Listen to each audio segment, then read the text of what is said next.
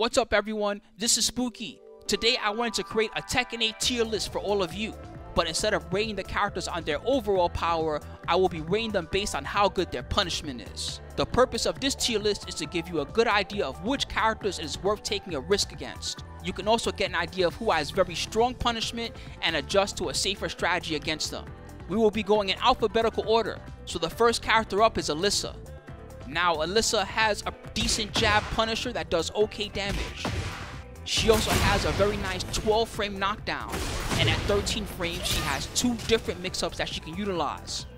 At 14 frames, she's got a juicy knockdown that also puts her in the destructive stance for the chainsaws. And at 15 frames, she can launch, although it is a two-part move.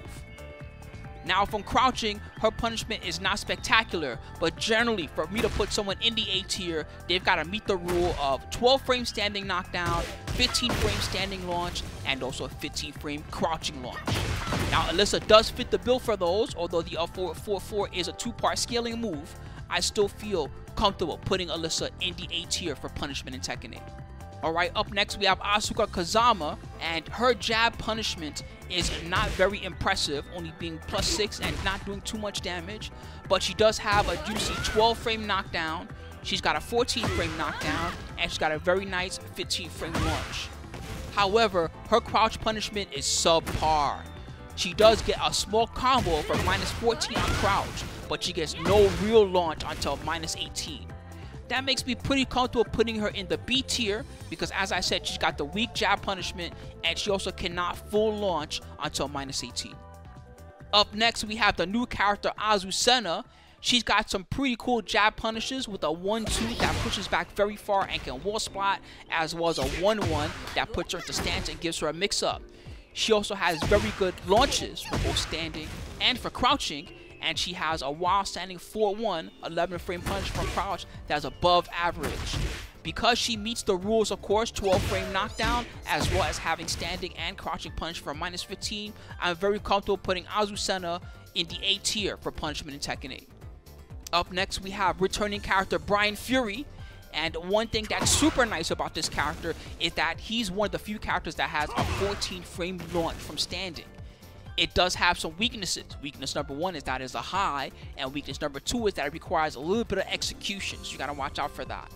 Overall, despite having his very cool forward back two launcher, I gotta say this guy's probably B tier. His jab and his 12 frame punish are really just not that impressive, and that means that to me, he doesn't meet the rules for being an A tier because he doesn't have that 12 frame knockdown to go alongside his 15 frame launchers and his 14 frame launcher.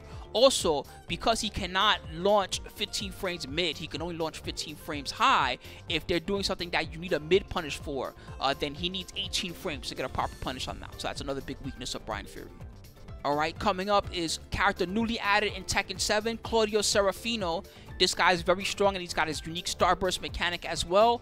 His jab punish is nothing to write home about, but he's got a great 12 frame punish that knocks down and gives him Starburst. He's also got a nice down forward 3-1. It's a 13 frame move that can wall splat and makes it a good punisher too, as well as having mix-ups behind it. And he's got a lot of other tricks too, including a 14 framer that gives him heat or a 14 framer that knocks down. Both great stuff. He even has above average minus 12 punishment for crouch too. So all different things that make Claudio very impressive. I'm extremely comfortable putting Claudio in the A tier. He's got a little bit of everything that you need for punishing someone in Tekken 8. Alright, up next we've got Devil Jin, and this guy's extremely strong. First off, he's got a jab punish that is hit confirmable and knocks down, which is typically a thing that only goes to Mishima style characters. He's also got a 12 framer that knocks down too, and he's got two choices for 15 frame punishment, the easy mode can cans and the hard mode electric wind god fist. He has above average while standing 4-4 punishment too for those minus 11, and overall, he's got lots of good stuff, basically. This guy is the first guy that I'm willing to put in the S tier for punishment in Tekken 8. He's got everything and the kitchen sink and then some. The only thing that he's got that is a weakness is that his 15 frame punish from crouch starts in a tornado combo, the while standing 2.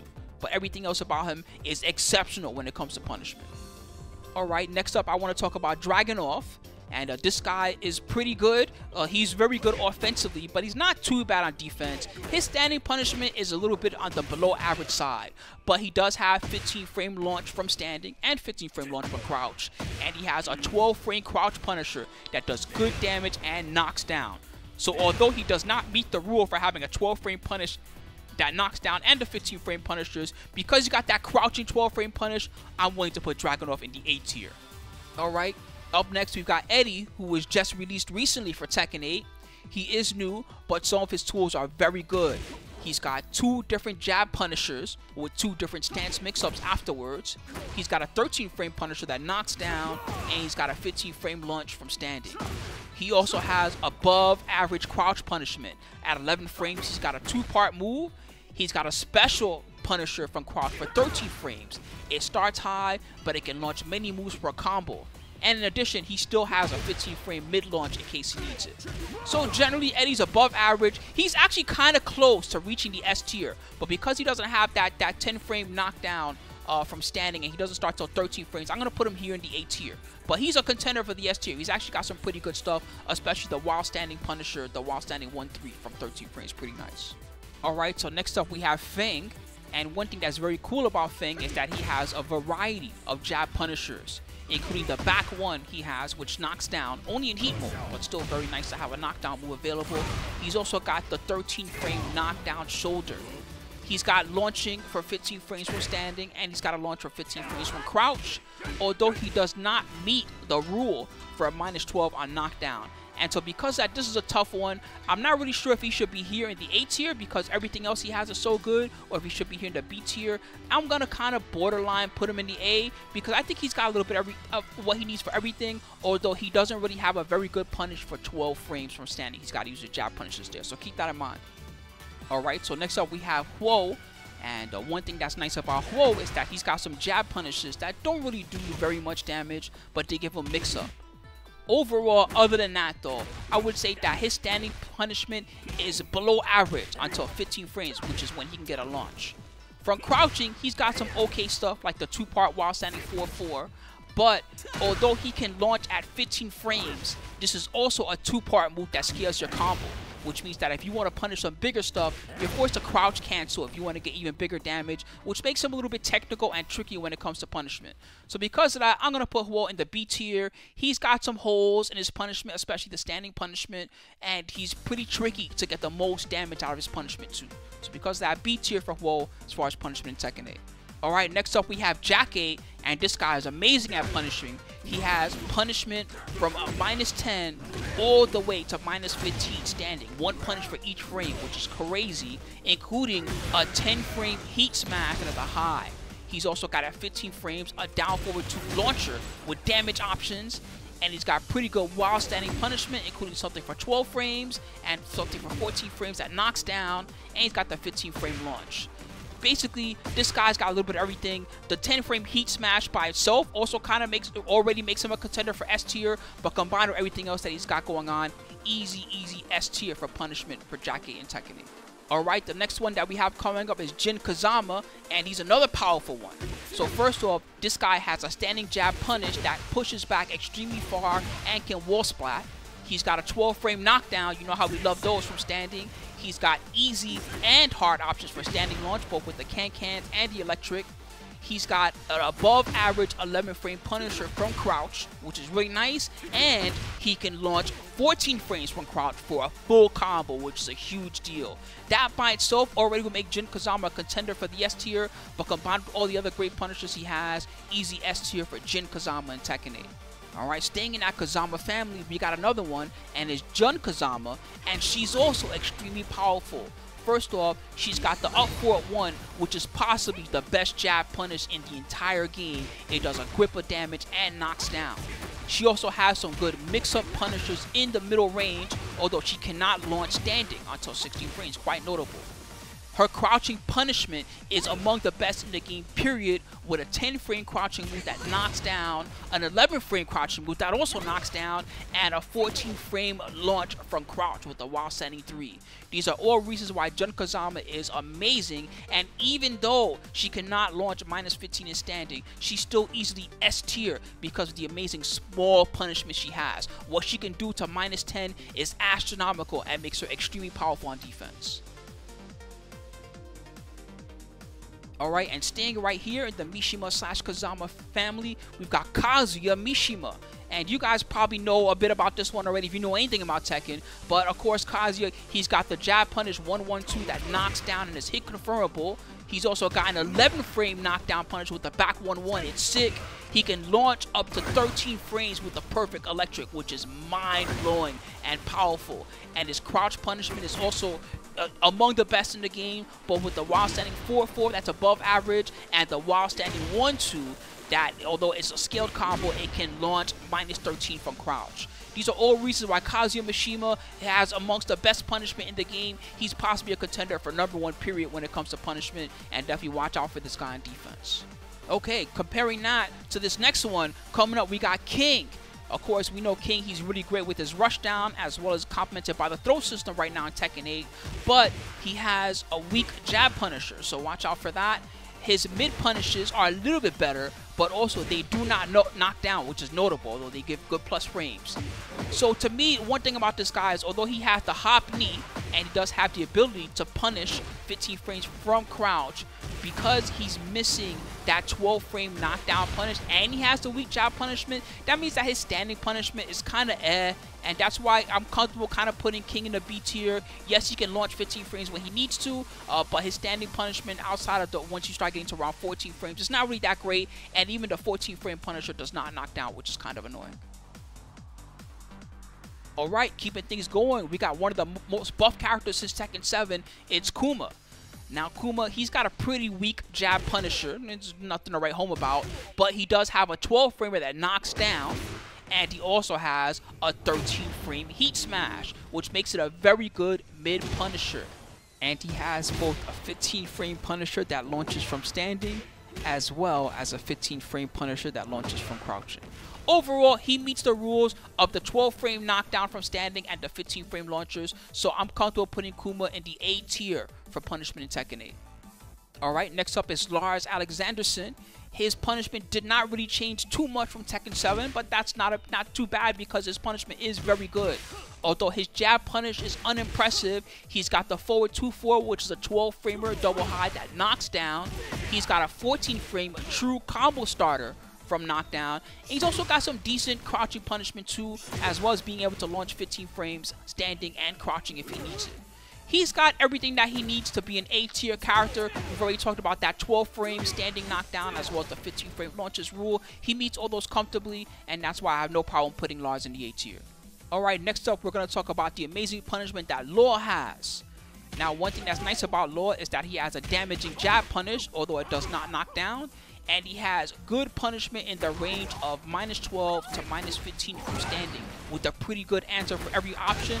All of them knock down or do decent damage or both. In fact, I think they all do both. From crouching, he also has pretty good punishment at minus 12. He's got the up forward 1-3. It's an interesting one. He's also got the while standing 1-2 at minus 13. And of course, he can launch standing or crouching if he needs to at 15 frames. So Law meets all the rules for someone that can punish a little bit of everything. In fact, he's very close also to hitting into the S tier thanks to all that nice middle range punishment he has. The 3-4 at 12 frames, the 4-3 at 13 frames, and of course the 3 plus 4, 4 at 14 frames. But because that 3 plus 4, 4 took that nerf. I think that used to give a full combo in Tekken 7. Now I think it only gives a small combo.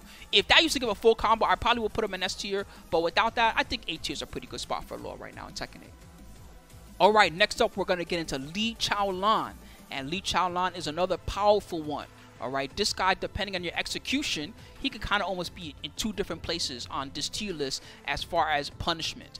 But he does have several amazing punishers, including the just frame 1-3 for 10 frames, which knocks down. He's got an 11 frame 4-4-4. It's another just frame down one knocks down. He's got the down forward 4-4 that can give him heat and the full 1 plus 2. He's also got the back 1-1-2. That's another one that requires a just frame. And he's got two different 15 frame punishers that he can utilize. One's a just frame for extreme damage, and one's a standard down forward 2. For crouching, it's the same deal. He has a very good 10 frame punch for crouching that starts the infinite kicks mix up. He's got the while standing 1-2 if he needs it. He's got his while standing 2-3 and he's also got the knee to punish for crowd, although the input's a little bit tricky, so he can punish minus 15.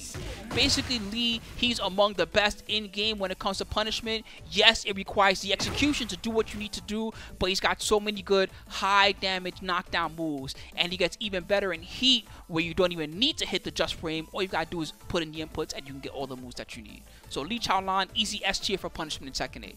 Okay, up next we have Leo. And Leo's punishment is also pretty good. The 10 framer 1-4 is not too bad. And she's also got a pretty good 11 frame punish. It does juicy damage and juicy plus frames, although it does not knock down. At 13 frames, she can knock down with DR4 1-2. And she's also got this nice little heat activated for 14 frames if she wants it, while being able to launch with down forward 2 at 15 frames. She has one of the best while standing 11 frame punishers in the entire game. The while standing 4 1 plus 2 not only does it knock down, but it's a two part combo. It could potentially wall splat and it has a lot going on to it. So although Leo does not meet the rules for a 12 frame knockdown punish from standing, because she has the while standing 4 1 plus 2, it's an amazing move. I'm extremely comfortable putting Leo into the A tier, and she could be a contender for the S tier if she had a better jab punish or a better 12 frame punish. Alright, so next up we're going to talk about Leroy.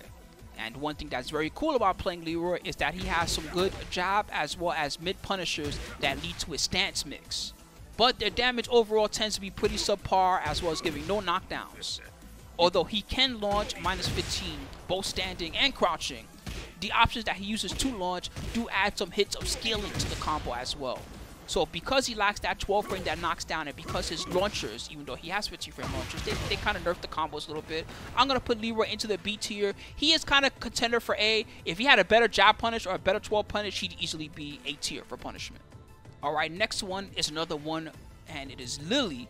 And uh, thanks to this, actually, I'm starting to understand why someone like me and the top players like playing this character so much. So first off, Lili has a 10 frame Punisher in this game that knocks down and does juicy damage.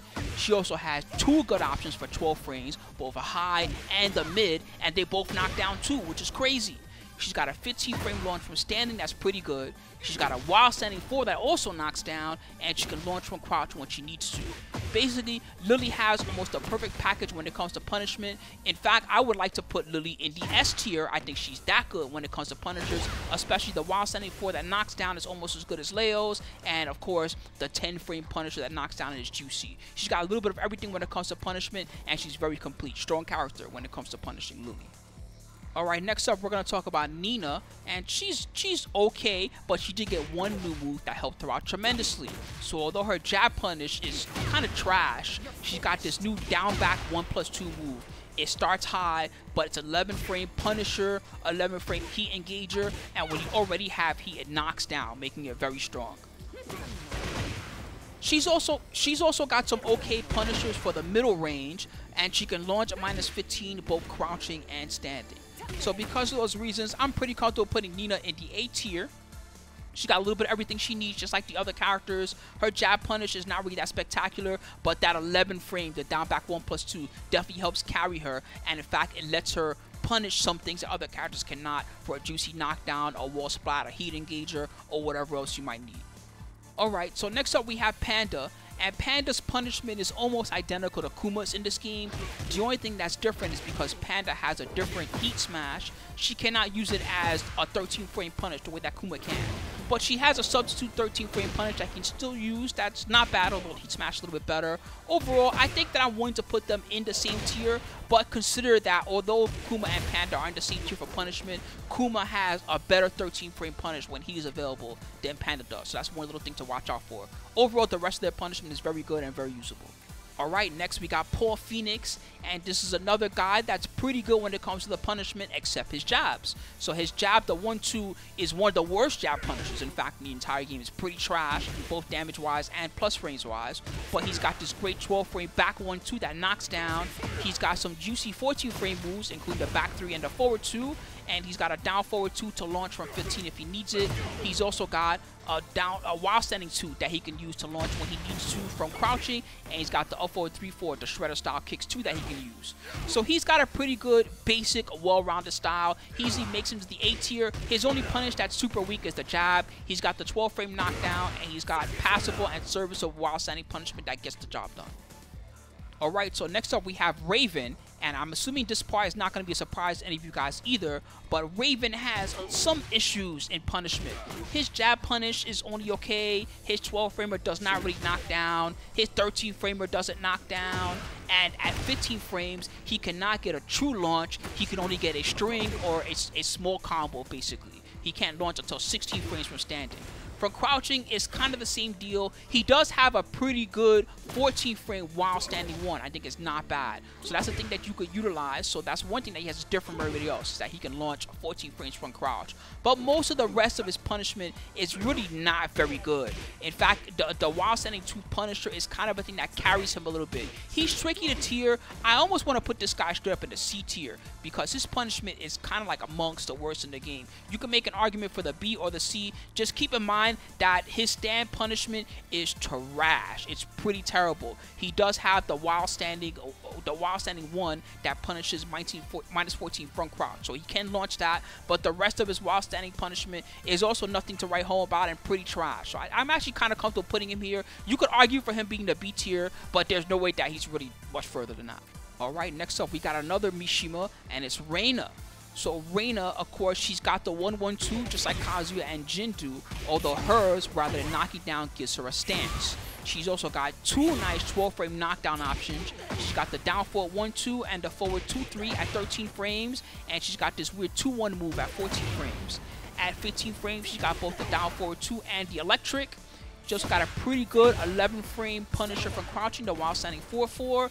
And she's got some tricks with this while standing 1 move as well, allowing her to go into stance and to tricks. And if she needs a launch from crouching at 15 frames, she's got that too. So she's got a nice little total package. I think that she actually belongs in the S tier. It's a bit of an edge case because the rest of the S tier, most of these guys have something really exceptional. Like Lili's got the 2-4 punish. You know, Lee's got his crazy stuff. Kazuya's got his while standing 1-3 at 13 frames. She's got her 14 frame punisher, that type of thing, right? But although she's more like an A tier character in how her variety of punishment works, she's kind of edging on like the crazy stuff that Lili or Kazuya or some of these other guys can do when it comes to punishment. So I think that she makes it kind of like at the edge of S tier, although you could argue that she's an A tier when it comes to punishment. All right, next up we got Shaheen, and he's another one that doesn't have anything too special. He does have a very cool 13 frame punish with the just frame forward back 2. And if you hit the just frame, you get it to be 13 frames rather than 14 frames, which is pretty nice because it's a juicy, damaging move that knocks down. He's also got a down forward two and a hop kick that will punish at 15 frames. He can do the hop kick from crouch if he needs to, and he's got the while standing 3-3. It's a weird little knockdown move that he can use from time to time. I think overall, his punishment is pretty good, but the thing that hurts him is that he doesn't really have a knockdown move at 12 frames, and to knock down at 13 frames, he's got to do a just frame move, which is a little bit tricky. So I'm comfortable putting Shaheen in the B tier. He's a contender for A tier. I think if they made the forward 2-3 knockdown again like it used to, that would be a huge change. Or if they gave him a better jab punish or something like that. Right now, I'm comfortable putting him here in B. Alright, up next is Steve Fox, and this is a character that has some of the most miserable punishment in the entire game. He does have a pretty nice 1-1-2 that he can utilize, uh, but his 2-2 or his 2-1 only give him stance mix-up. They don't necessarily give him anything that's a knockdown. His 1 plus 2 is not bad. This is actually a really good one, but he cannot launch until Woo, what can he launch? 17 frames? 22 frames? He can't launch for a really long time, which is a big problem. It's the same problem for Crouch. He's got the while standing 2-2 punish, which is a good little middle punish. He's got the while standing 1-2 at 11 frames. That one's really juicy. So it's a pretty good Crouch punisher. But then the same deal, he cannot launch until full Crouch down 2, which I believe is an 18 frame move. It's extremely slow.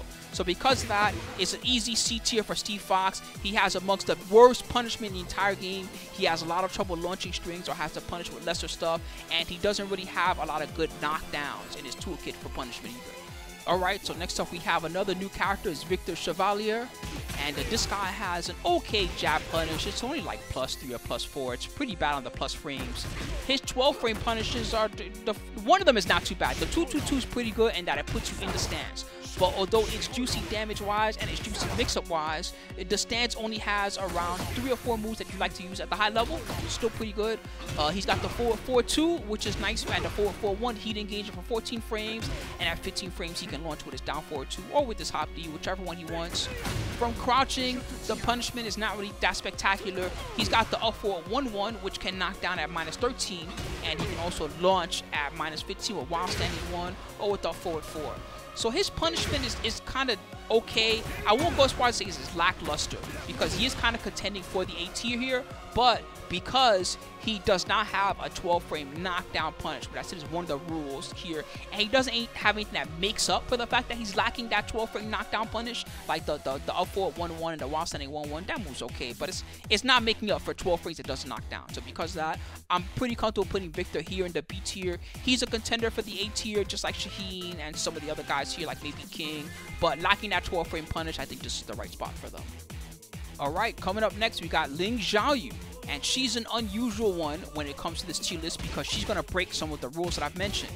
Now, she has a pretty weak jab punish, but that one does give some stance mix-ups. She's got a 12 framer that knocks down, is very powerful. And just like Bryan, she also has a 14 frame high combo starter. And it's easier to use than Bryan's too, which is nice. Unlike Bryan, she also has a 15 frame standing launcher with the back 1 plus 2. Her while standing 4 also knocks down, which is really juicy The only weakness I can really look at in her punishment is that she cannot launch crouching until minus 16. Despite that, looking at her list and looking at her punishment, I can definitely say that her punishment is better than Asuka's, probably better than Bryan's, right? Like we talked about the 15 frame actual standing launcher, uh, probably better than Hwo's some of the other guys. So I'm pretty comfortable putting her here in the A tier. You could make an argument for her maybe being in the B tier, but I, I think her punishment is probably a little bit better than these characters I've placed here in the B tier. So I think this is the right spot for her. Alright, we've almost reached the end, everyone. Up next is Yoshimitsu.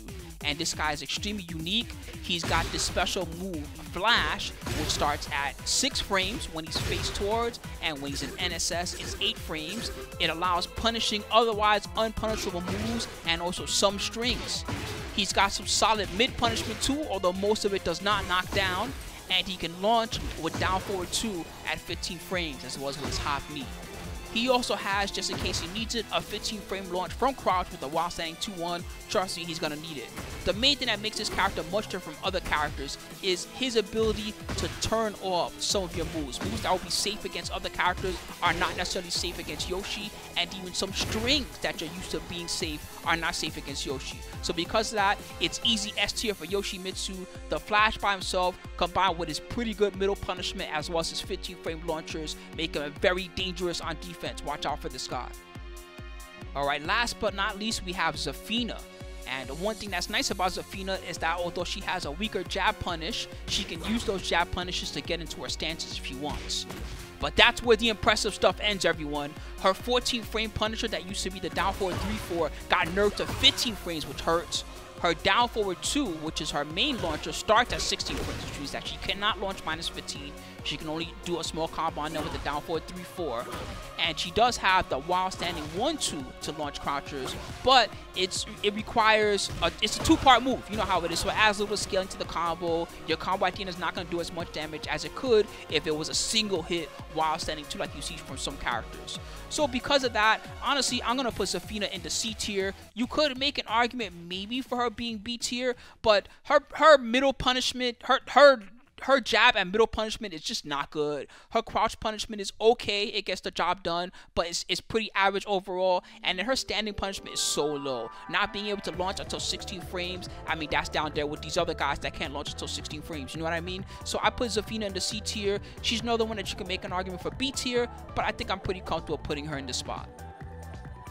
Alright everyone, so here it is. This is my tier list for punishment in Tekken 8. I'm sure I got a couple of things wrong here or there, but I hope that this will give you a general idea of how good your punishers might be if you're playing one of these characters, and also will give you an idea of how strong the opponent's punishment will be against you.